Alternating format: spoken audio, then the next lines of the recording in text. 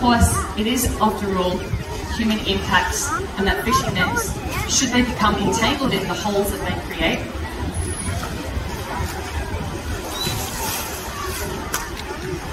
well, it's safe to say it might not end up so well. Um, don't you worry, Diego which is a really good actor, and he does have Anja to help him remove that netting.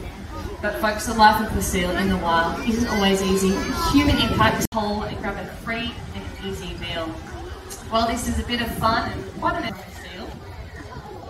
and in the wild, a seal is actually finding it a lot harder to find the next meal.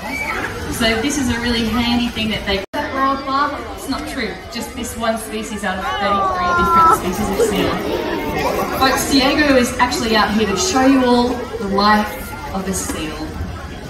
All of these behaviours and things that you might see a seal doing in the wild, they capture natural behaviours People are often a bit alarmed when they see seals on land, but they spend about half of their time.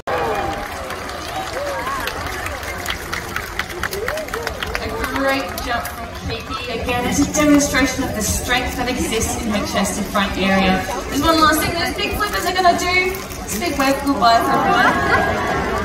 Thanks Kiki, thanks Pippa and see you guys. About 80% of our seals are found right here in the southern hemisphere, but arguably the most recognised